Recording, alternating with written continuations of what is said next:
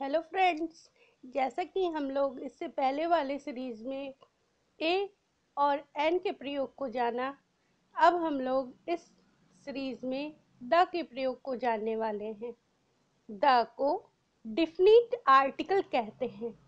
इससे निश्चित व्यक्ति या वस्तु का बोध होता है।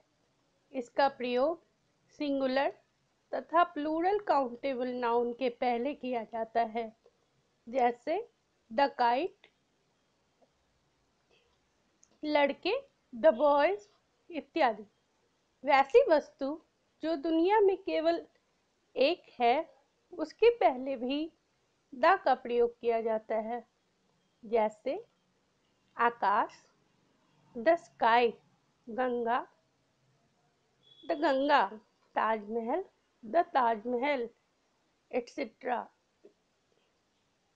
the के प्रयोग को हम लोग इन मॉडल सेंटेंसेस के द्वारा आसानी से समझ सकते हैं। घड़ी नई है। द वॉच इज़ न्यू पृथ्वी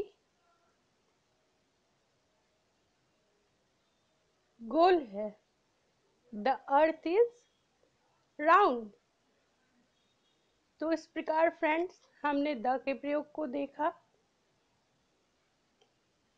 तो इसी के साथ आज का ये सीरीज़ समाप्त होता है। मिलते हैं नेक्स्ट वीडियो में।